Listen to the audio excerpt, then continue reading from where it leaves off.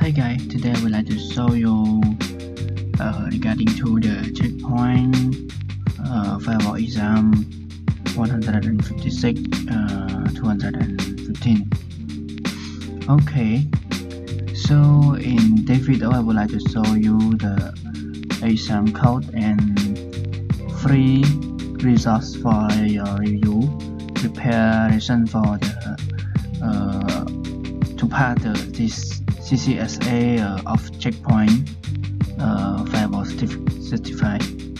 Okay, you can see that uh, certification provider is checkpoint and the exam is checkpoint uh, certified security administrator CCSA or uh, AT and duration uh, 2 hour for the number of questions in the database that we have in this website uh, we, we have around uh, 400 and the exam version is uh, last September. Okay and the exam topic we have two and the topic one is the single topic and another second one is uh, more question. Okay so now let's go to the question. Okay guys you can see that uh, we have you on page one of the 33 uh, pack. And we have total uh, around uh, 491 question okay. So let's go to the question. So guys you can see the topic one single topic. And you can see the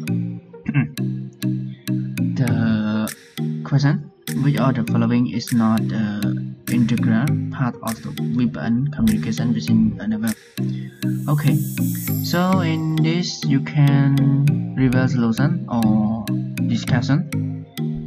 For the reverse solution, you can see the answer that uh, such as in this video, uh, you can see that the answer is VPN key, and you can see the detail of the answer. You can see that Key uh, to not be confused with key with that is used for authentication and many many okay? So you can see another question and show the answer it will be show you with the explanation. So I think you guys this website very helpful to to deliver you pass the exam easily anyway you should be clarified with the lesson that you have Milan.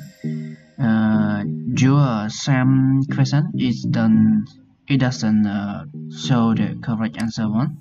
So you guys you guys need to uh, clarify by yourself also okay? Okay. So you can see the answer with the explanation right? Okay. Okay after that you can go to the next question. It will be go to another page view. Okay so just uh, confirm that you are not a robot. Okay so now we view on page 2 and you also see the answer more in the question and with the detail